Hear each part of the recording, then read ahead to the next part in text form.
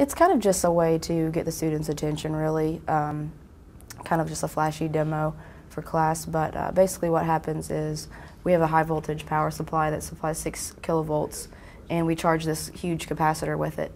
And um, then we flip another switch which allows the capacitor to discharge across a very thin wire, and the resistance is very low, so it discharges very quickly and results in the wire exploding. Basically, a lot of times the wire will just heat up you know, if we get current through it, but in this case it's just too much and it just explodes. One of the things we start out during the spring semester discussing is uh, static electricity and separating positive negative charge from neutral objects by rubbing things. Then we talk about, well, a power supply can do that pretty efficiently and create more of a charge separation. So for this demonstration, um, we create a lot of charge separation, which corresponds to a fair amount of stored energy, electrical energy. Then we release it. Two, three. A lot of times, uh, you know, we hear about people getting electrocuted and things, but a lot of stuff we do in the lab is very safe.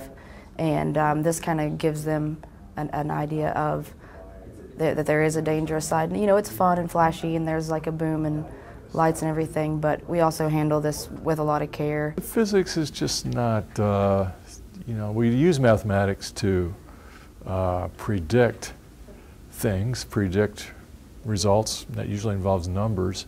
So the mathematics, sometimes students get a little dulled out by looking at formulas, you know.